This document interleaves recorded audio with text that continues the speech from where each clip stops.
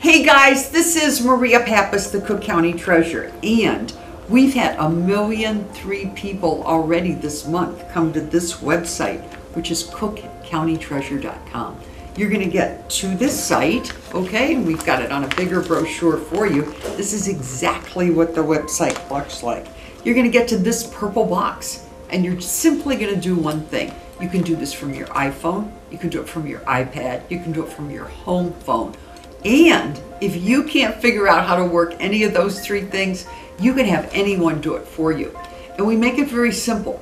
All you have to do is put in your home address. Punch here, and there'll be a place where you can put in your home address, and a picture of the property will show up.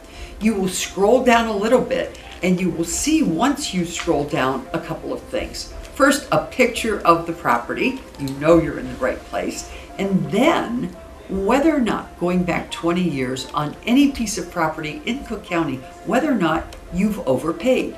If you have, like maybe two mortgage companies paid, or you paid and your mortgage company paid, the computer will tell you, and you punch apply now, and we'll get your money back within four to six weeks. You must have been the owner of the property at the time. You're going to scroll down just a little bit more and you're going to see some boxes. Homeowner's exemption. It means you've lived in the house for more than a year. Senior exemption means you're 65 and over. And senior freeze means you're over 65 and you make under 65,000 a year. You can claim each of these for 4 years. So let me give you an example. You bought a house 5 years ago. You can be any age you're entitled to a homeowner's exemption every year. That's each year you're entitled to $500 off your tax bill. If you haven't gotten it and you don't see it on your current bill and you don't see it on the computer, you can apply online to get that money back as a homeowner who lives in that house. Same principle applies to a senior exemption. If you're 65 and over, going back four years, you can get 500 a year off your bill.